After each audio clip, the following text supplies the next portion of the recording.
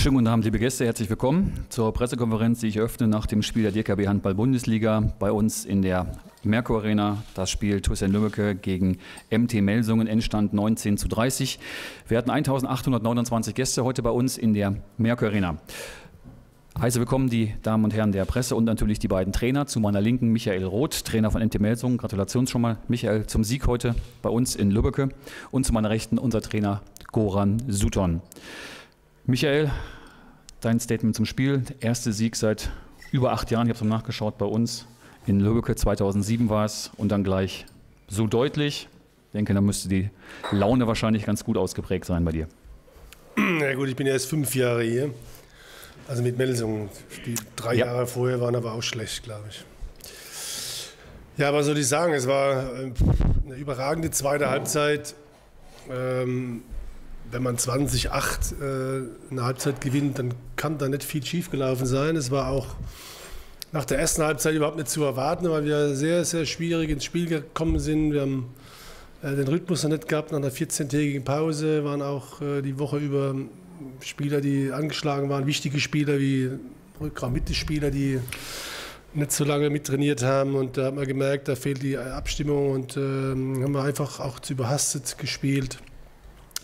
Einfach auch dann ähm, hinten, denke ich, ganz gut gedeckt, aber die Lübecker Nelstädter haben dann von unseren Fehlern gelebt erstmal und äh, ja, und dann haben wir in der Halbzeit ganz ruhig analysiert und haben dann auch ein paar Umstellungen gemacht. Wir wollten noch die ersten Minuten 5 plus 1 spielen, was eigentlich ganz gut geklappt hat und dann zurückgehen auf 6-0, wenn vielleicht die Lübecker ein bisschen müde sind, dass wir sie dann auch zu Würfen zwingen.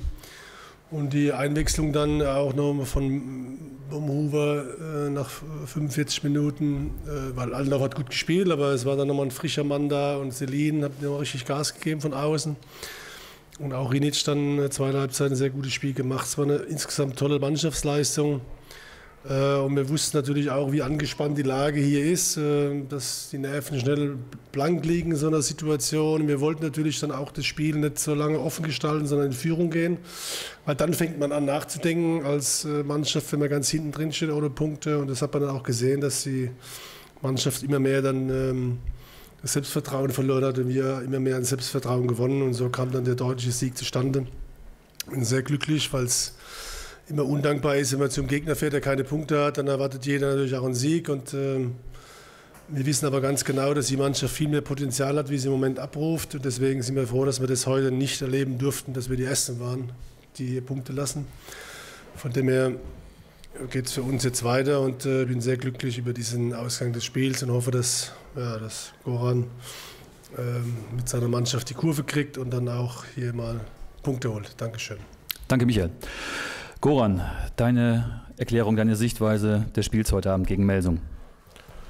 Ja, Michael, äh, Glückwunsch äh, zum Sieg. Äh, wir haben Michael schon gehört, hat schon Spielfilm relativ genau beschrieben. Wir haben sicherlich in der ersten Halbzeit deutlich besser ausgesehen als in der zweiten Halbzeit. Aber mich ärgert, dass wir auch in der ersten Halbzeit, in der Schlussphase nicht äh, mit einer deutlicheren Führung äh, äh, in die Pause gegangen sind. Da waren zwei klare Chancen, unter anderem auch sieben Meter und zwei beziehungsweise drei technische Fehler, die uns verhindert haben, in so einem Spiel mit drei beziehungsweise sogar vier Tore in die Führung zu gehen in die Halbzeitpause.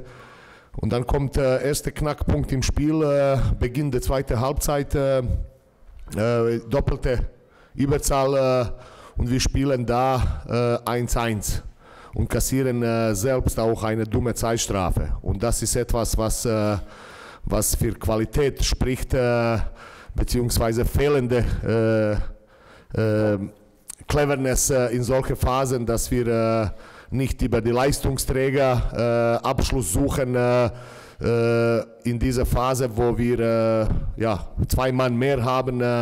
Und das ist sicherlich ein psychologischer Moment, was in unserer Phase, wie Michael schon sagte, dann liegen die Nerven wieder blank. Anstatt an Zusatz-Selbstvertrauen zu gewinnen, gehen wir dann zu Beginn der zweiten Halbzeit im Überzahl in, in den Rückstand.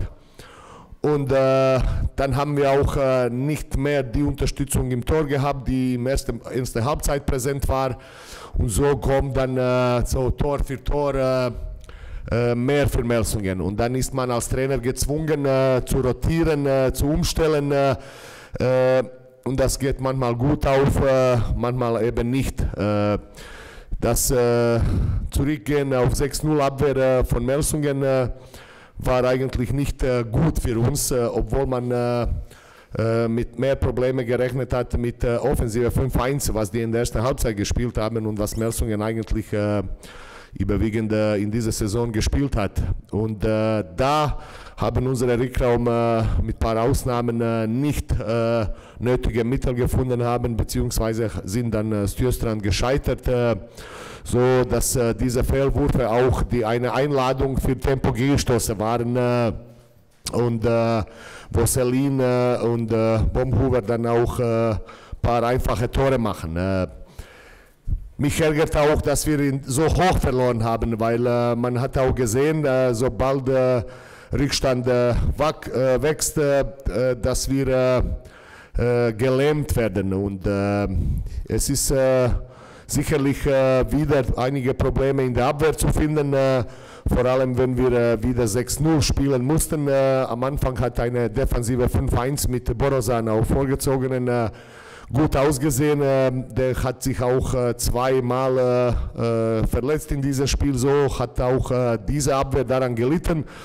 Und dann äh, mussten wir auch viel probieren. Mal 6-0, mal 4-2, mal 5-1. Aber das sind so alle Verzweiflungsversuche gewesen. Äh, es ist ärgerlich, es ist enttäuschend. Äh, man kann äh, heute auch das schön reden. MT Melsungen ist eine Spitzenmannschaft.